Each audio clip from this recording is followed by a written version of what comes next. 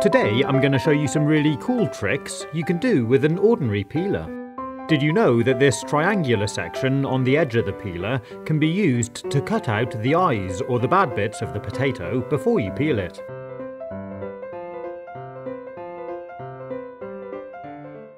But what is really cool is you can also use the triangular cutter to slice out your own french fries. It's dead simple and really quick.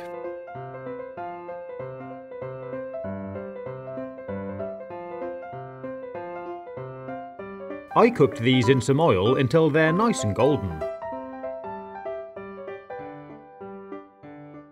They taste great. You can also use your peeler to make your own crisps, or you might call them chips.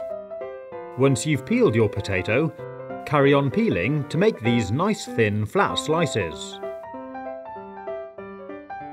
I cooked these in oil again, although you could bake them in the oven.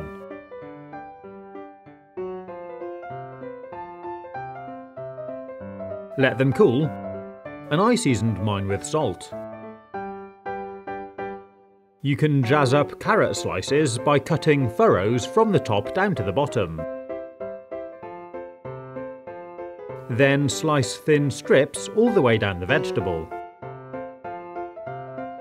They look great and would be perfect in a salad. And you can do the same with a cucumber. And if you find it's too thin when you slice it with a peeler, you can make them as wide as you like by chopping them with a knife. You can use your peeler to cut some wafer-thin slices of parmesan to finish off your salad. Or chop the top off a courgette and slice the whole vegetable completely with your peeler.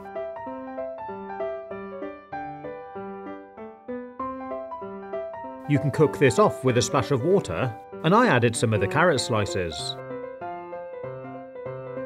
Stir in some pasta sauce to make a super quick, delicious meal.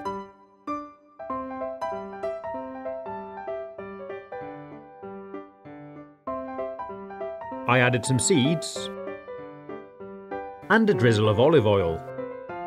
And if you like, some nice thin parmesan again on top.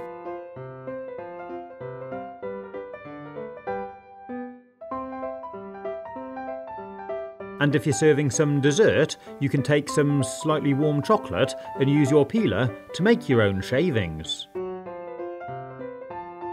So there really is a whole host of alternative uses you can use your peeler for. I hope you've enjoyed watching this video. If you want to see more, you can click on the links or take a look at my YouTube channel page. Stay safe, have fun, and as always, thanks for watching.